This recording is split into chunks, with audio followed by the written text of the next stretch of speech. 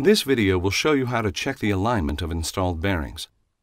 A certain degree of misalignment can be expected from mounted bearings during operation, but ensuring alignment falls within manufacturer recommendations will extend the service life of your bearings. There are two types of misalignment, static and dynamic. Static misalignment can occur when the mounting platforms are not on the same plane, when a mounting platform is not level, when the bearings are offset horizontally, or when the bearings are not parallel to each other. Dynamic misalignment occurs during operation and can result from a bent shaft or a heavy load being applied to the system. At installation, alignment should be checked and corrected to ensure the bearing is operating within its limits.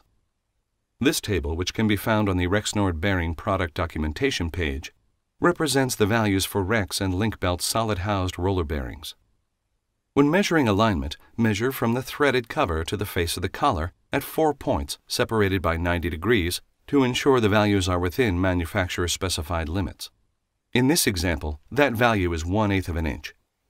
If the measurements are not within the given value, adjustments must be made to the mounting surfaces and or the bearing. These are the proper steps to measure alignment of installed bearings. Remember, the Rexnord spherical roller bearing can handle an industry-leading plus or minus 2 degrees of misalignment. For full service instructions, visit our website www.rexnord.com/documentation. Call 1-866-REXNORD or download the Bearing Mobile Pro app for Apple and Android devices.